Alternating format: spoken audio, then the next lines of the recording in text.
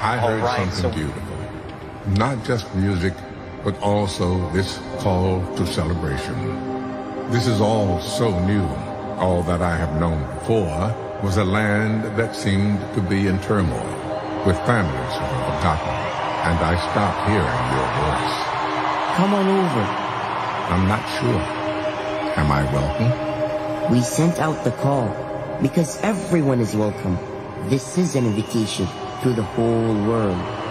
I remember even after hearing the call, instead of seeing another way, we dismissed it and demanded our own way. And now the world feels even more distant and divided. How can so many countries, languages, and cultures come together if only one way is accepted? يا أيها الناس إنا خلقناكم من ذكر وأنثى وجعلناكم شعوبا وقبائل لتعارفوا إن أكرمكم عند الله أتقاكم We were raised to believe that we were scattered on this earth as nations and tribes so we could learn from each other and find beauty in our differences. I can see it. What unites us here in this moment is so much greater than what divides us. How can we make it last longer than just today?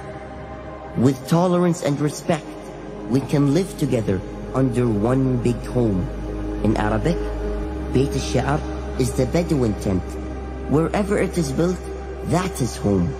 And when we call you here, we welcome you into our home.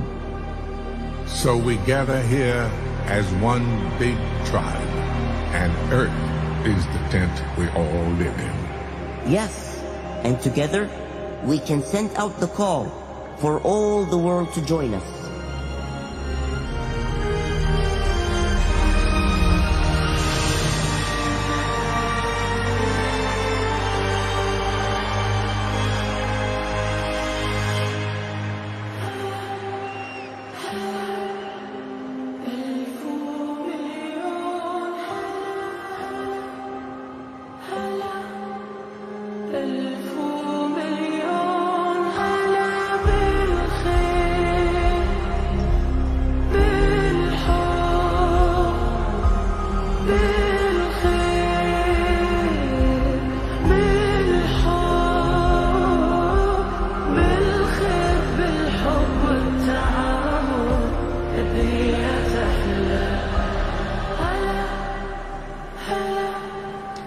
So right now we're hearing Qatari vocalist Wakra and with her powerful voice, she's welcoming everyone. She's telling everyone that no matter where you're from, please come home.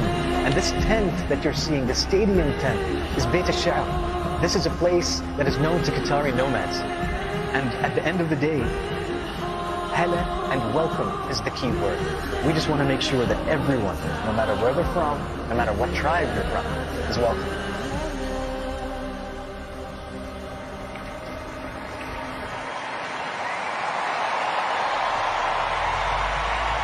Celebration, in cheering for our heroes through all the differences in language, there is a common thread of hope, jubilation, and respect.